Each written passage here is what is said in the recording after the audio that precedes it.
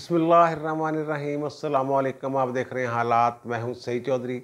सबक वजी अजम मियाँ नवाज़ शरीफ की लंदन में आजकल क्या मसरूफियात हैं, क्या सरगर्मियाँ हैं?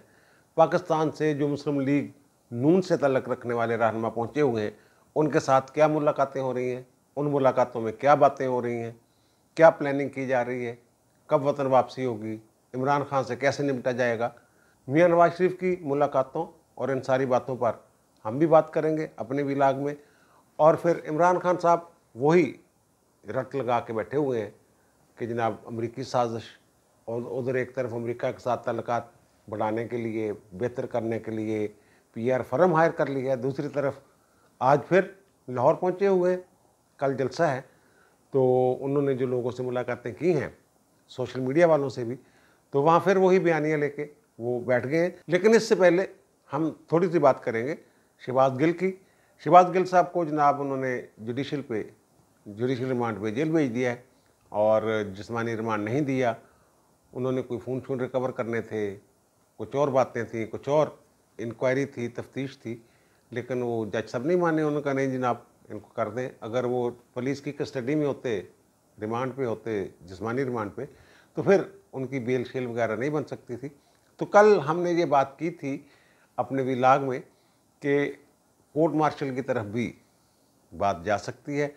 वहाँ रावलपिंडी में बड़ा गम गुस्सा है कि अगर अदालत से गैर मामूली को रिलीफ मिल जाता है, जैसा कि मैं समझता हूँ कि आज उन्हें मिला है तो फिर वो फ़ौज जो है, वो मिलिट्री कोर्ट में ट्रायल के लिए कार्रवाई कर सकती है। वो लिखेंगे वजारत दफ़ा के ज़रिए कि हमें कस्टडी चाहिए इसकी, इस बंदे की। और कानून में जो मिलिट्री एक्ट है, फौजियों वाला उसमें दफ़ा है टू वन डी। वो ये कहती है कि जनाब, उनका ट्रायल जो है, वो हो सकता है। इस हवाले से आज अंसार अब्बासी साहब की खबर छपी है दी न्यूज़ में और दी जंग में। उन्होंने भी यही खबर दी है कि गौर हो रहा है कि मिलिट्री कोर्ट में उनका ट्रायल किया जाए। कोर्ट मार्शल एक तरह से कह लें आप, किया जाए। और फिर इसमें कुछ और लोग भी हैं। वो तो वो तफ्तीश तफ्तूश जब आगे बढ़ेगी, फिर ही बात बनेगी ना, इस बारे में कानून में तो ये प्रोविज़न मौजूद है, लेकिन बहुत सारी जजमेंट्स ऐसी भी हैं कि सुप्रीम कोर्ट ने, या हाई कोर्ट्स ने ये कहा है कि नहीं, ये सिविल मामला है और सिविल अदालत में ही वो मामला चलेगा। अहमद फराज पे भी एक केस बना था और एक ख़तून थी, कोई फरखंदा बखारी, उन पर भी केस बना था, लेकिन लाहौर हाई कोर्ट ने वो, उनका जो फौजी अदालत में ट्रायल था, वो रोक दिया था। और लेकिन कुछ ट्रायल ऐसे हुए भी हैं। एक रिटायर्ड ब्रिगेडियर साहब से उन्होंने खत शत लिखा था कोई फौज को। भुट्टो साहब के दौर में उनका ट्रायल हो गया था। अभी हाल ही में आपको याद होगा कि मेजर जनरल का बेटा पकड़ा था इन्होंने। वो भी उन्होंने वो खत शत लिखा था। तो उसको भी गिरफ़्तार किया गया। मिलिट्री कोर्ट में मुकदमा चला और पाँच साल उसको सजा चुकी हुई है और वो इस्लामाबाद हाई कोर्ट में उसकी अपील पेंडिंग है। अनामर रहीमी साहब हैं हमारे एडवोकेट साहब, हमारे दोस्त हैं। कर्नल रिटायर्ड हैं और जज एडवोकेट जनरल, ब्रांच से तलक रहा है जैक ब्रांच से उनका। और वो ये कहते हैं कि सिविलियंस जो हैं, उनका फौजी कानून में प्रोविज़न मौजूद है, वो कहते हैं कि वो कहते हैं, लेकिन अदालतें जो हैं, उन्होंने ये ऑब्जर्वेशन दी हैं, कुछ फैसले दे रखे हैं कि उनका ट्रायल नहीं हो सकता। लेकिन मेरे इलम में कुछ ऐसे हैं, लाहौर हाई कोर्ट में मिस्टर जस्टिस खलील रमदे साहब की अदालत में एक केस लगा था इसी तरह का, कि वो कुछ लोग पकड़े हुए थे, उन्होंने फौज ने और उनका मिलिट्री कोर्ट में ट्रायल हो रहा था तो उन्होंने ये, वो दरख्वास्त थी जो लोगों की, वो मुस्तरद की थी और कहा था कि मिलिट्री कोर्ट में ये ट्रायल हो सकता है। और अनामा रहीम साहब जो हैं, वो ये कह रहे हैं कि जो ऑपरेशनल एरियाज़ होते हैं, जहाँ फ़ौज ऑपरेशन कर रही होती है, जैसे सरहद के करीब जो इलाके होते हैं, वहाँ से अगर कोई बंदा पकड़ा जाता है, फिर जो सिविलियन भी हो तो फिर फ़ौज जो है, वो उसका मिलिट्री कोर्ट में ट्रायल हो सकता है। बहरहाल देखते हैं अब आगे क्या होता है। ये बाहर तो ये लग रहा है कि आज जैसे अदालत ने जुडिशल कर दिया उन्हें। जुडिशल करने के बाद फिर मैंने कहा कि बेल का प्रोसेस शुरू हो जाता है। तो लेकिन के आसान सा काम है। लेकिन ये काम आसान नहीं है। ये मेरा नहीं ख्याल कि शहबाज गिल साहब की जान जो है इतनी जल्दी छूट जाए। और फिर खान साहब की बात मैं करूँगा वही कि खान साहब ने आज फिर सोशल मीडिया जो एक्टिविस्ट हैं, उनके साथ उनकी कोई गपशप हुई है। और उन्होंने वही बातें की, जनाब ये डील करना चाहते हैं, कि डील ये होगी कि जनाब आपको भी छोड़ देते हैं, नवाज़ शरीफ को भी वो कर देते हैं, नहली ख़त्म कर देते हैं। ये तो फिर दूसरा एन देने वाली बात हुई, नवाज़ शरीफ को। इस तरह की बातें शायद उन्होंने की हैं। और वही बातें मुझे तनहा करना चाहते हैं। और फिर वही बात कि जनाब आलमी साजिश के तहत मुझे निकाला गया। अमेरिका वाली साजिश। और एक तरफ़ यह बातें कर रहे हैं, दूसरी तरफ़ अच्छा यार ये खबर तब्दू भी गई है वैसे बीच में, कि जो अमरीकी सफ़ीर की गुफ्तु करवाई के पी के जो वजी अला थे, उन्होंने इमरान खान के साथ, और ख़बर की तरदीद भी नहीं हुई, खबर भी मेरे ख्याल पक्की खबर है तो वो उस पर कोई शोर शराबा इस तरह हुआ नहीं, जैसे होना चाहिए था, शायद शहबाज गिल वाला या कोई और मामला ऐसे हैं, जिनकी वजह से खबर जो है वो दबदब गई है।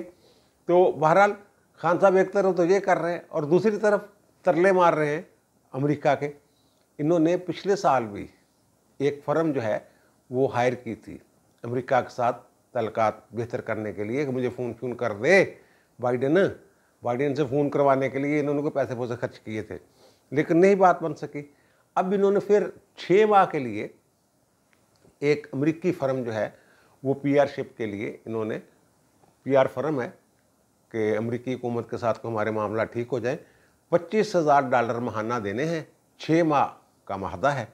यानी डेढ़ लाख डॉलर इन्होंने उनकी खिदमत में पेश करने हैं और उन्होंने कोई एक आध को खाना छाना करवा देंगे या क्या करते हैं, क्या नहीं करते, कुछ होता भी है या नहीं होता।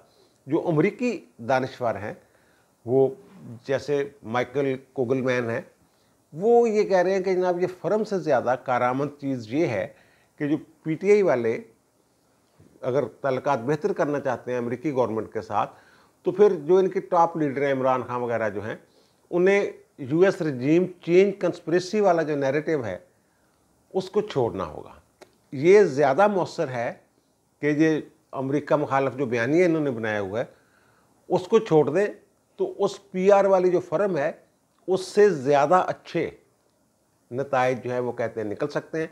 लेकिन वो कहते हैं क्योंकि कोई पॉलिटिकल कंसिड्रेशन होती हैं, तफजात होते हैं, कोई मसाइल होते हैं कुछ रुकावटें होती हैं, और जिसकी वजह से लगता नहीं कि ये नैरेटिव जो है या बयानियाँ जो है इमरान खान छोड़ देगा।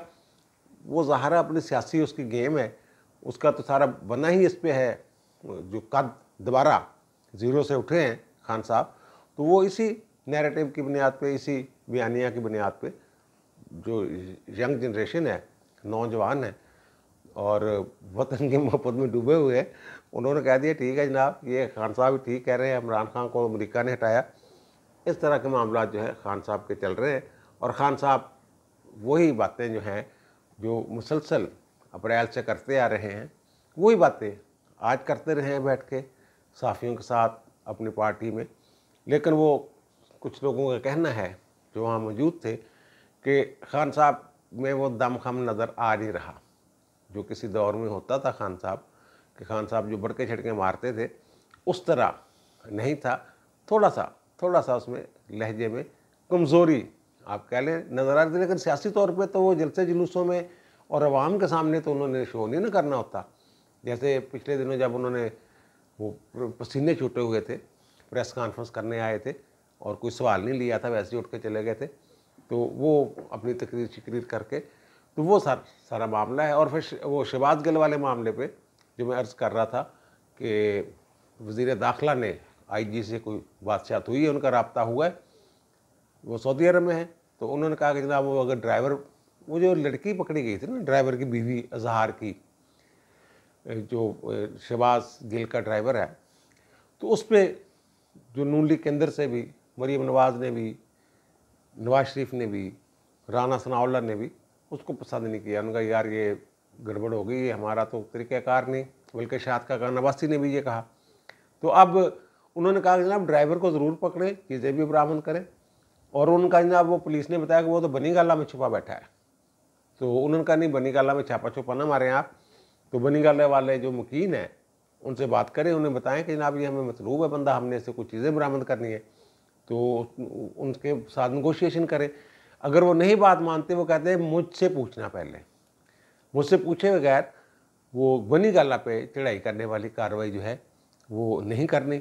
और फिर हमजा शहबाज साहब ने एक पिटिशन डाल दी है, सुप्रीम कोर्ट में नज़रसानी की दरख्वास्त जो उनका वजारत आला का, जो उनका इलेक्शन था, उसको ख़त्म करके उनको बनाया गया था परवेज़ लाही को तो उन्होंने नज़रसानी की दरख्वास्त दायर कर दी और उसमें वो कहते हैं कि बड़े मज़बूत जो दलाइल दिए उन्होंने, वो मज़बूत किस्म के नकात हैं जो कानूनी तौर पर कि जनाब आप फुल कोर्ट बनाएँ। पहले कोर्ट का जो फैसला था, वो तीन दुकनी बेंच तो नहीं ख़त्म कर सकता था। तो वो, और सिक्सटी थ्री ए की तशरी वाला मामला जो उसके भी फुल कोर्ट बनाए, बारह जज बैठे लेकिन वो नज़रसानी की दरख्वास्त में, ये चीफ जस्टिस साहब की मर्ज़ी है, कितने रुकनी बेंच बनाते हैं आमतौर पर उसी बेंच को, में लगता है, जिस बेंच ने पहले सुना होता है। तो अब देखें, उसमें क्या होता है, चीफ साहब अपनी सरबरी बेंच बनाते हैं, फुल कोर्ट बनाते हैं, वो वैसे भी कह चुके हैं कि जनाब मौसम गर्मा की तातीलत हैं, उसके बाद जज दस्तियाब होंगे, तब कहीं जाकर हम ये केस को जो है, वो सुन सकेंगे। शहबाज गिल साहब आज अदालत में बेचारे कमीज़ उतार के दिखाते रहे हैं कि जनाब मुझे बड़ा फेंटा लगा है। तो डॉक्टर कहते हैं जनाब, हम इसको तो कोई तशद ही नहीं हुआ। और वो कहते नहीं जनाब ये रिपोर्ट भी जाली है और ये सारा कुछ जाली है। और जज साहब ये कह रहे हैं कि जनाब, वो, आपने क्या करना है रिकवर करके?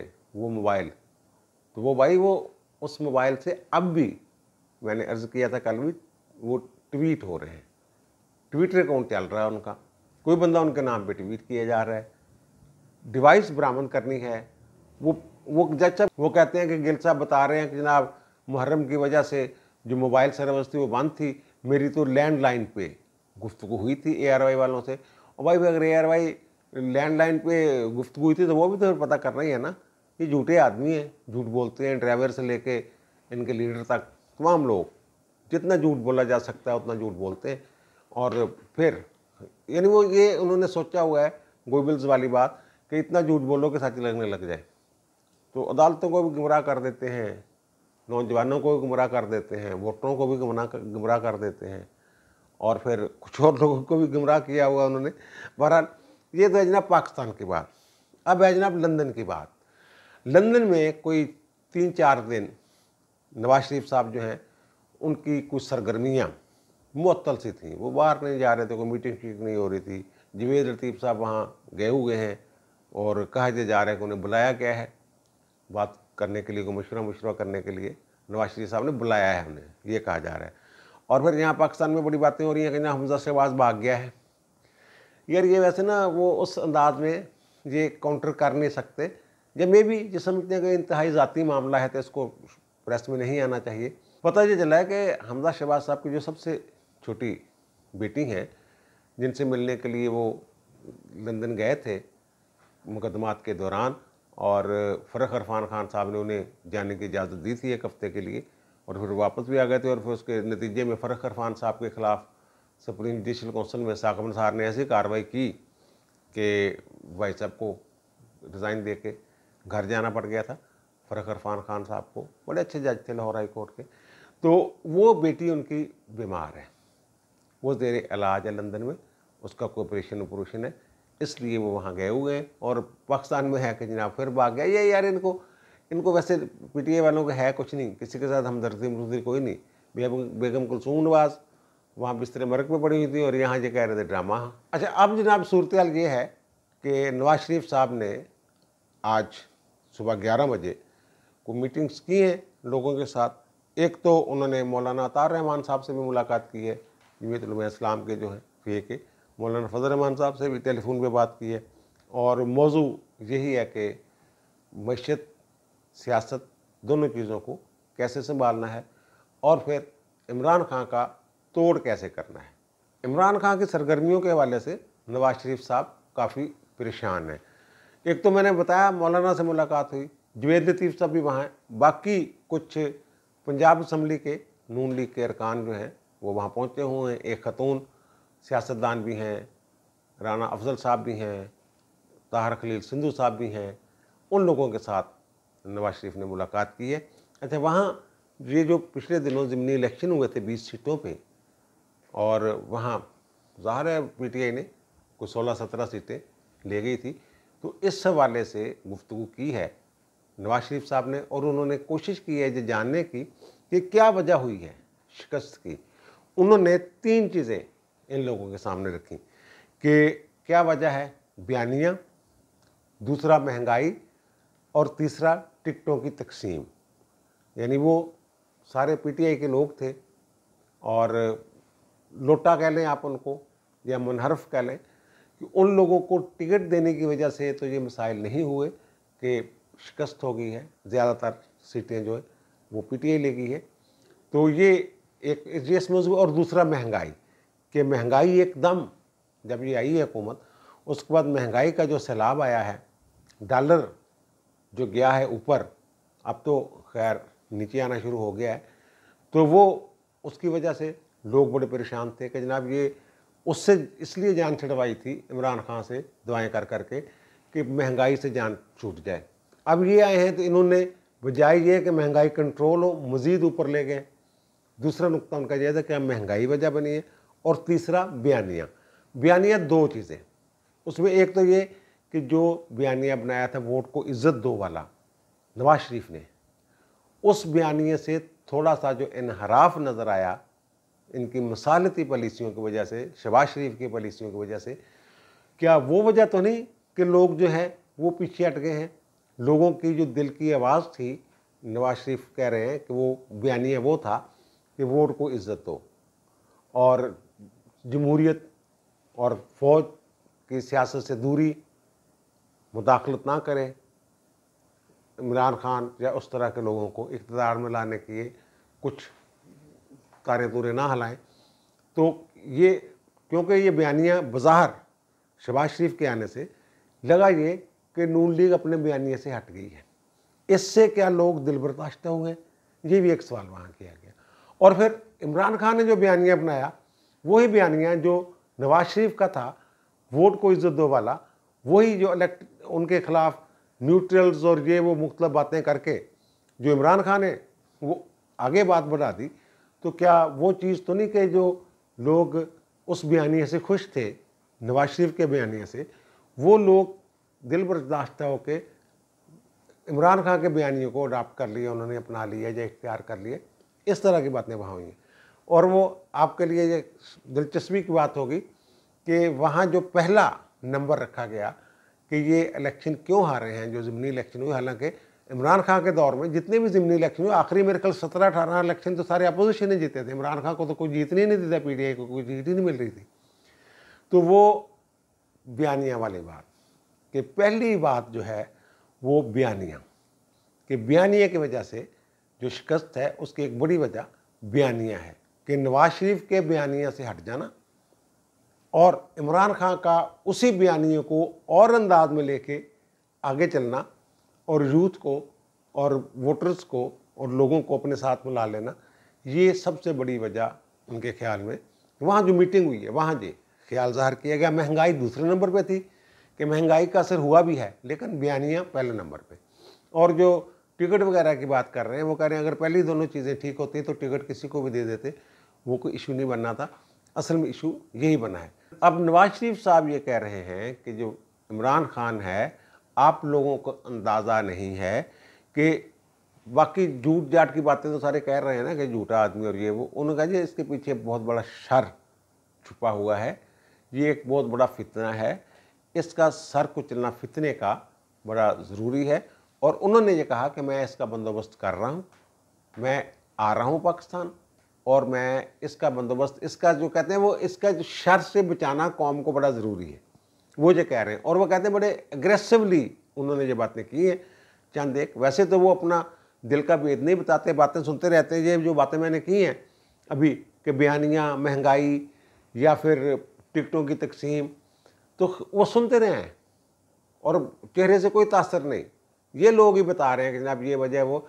इन्होंने अपने तौर पर ये नतीजा निकाला कि बयानियाँ जो है वो पहली वजह है। तो वो, उन्होंने कोई प्लान किया है, वो बता रहे हैं कि उनकी बातों से ऐसे लग रहा था कि उनके पास कुछ प्लानिंग्स हैं, कुछ मंसूबे हैं कि इमरान खान साहब जो है इनका मक्कू कैसे ठपना है और उसको ठपने के लिए, वो कह रहे हैं कि वो तैयार है पाकिस्तान आने के लिए भरपूर अंदाज में। और लेकिन वो कब आते हैं, ये तो वो कहते हैं, उन्होंने नहीं बताया, लेकिन उनकी बातों से ये लग रहा था कि वो पाकिस्तान जो है वो जल्द पाकिस्तान आना चाहते हैं।